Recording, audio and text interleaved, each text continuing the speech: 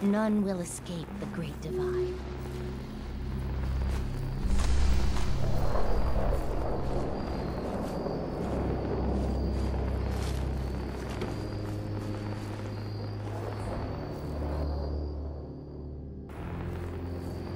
May Adam bless you with his love.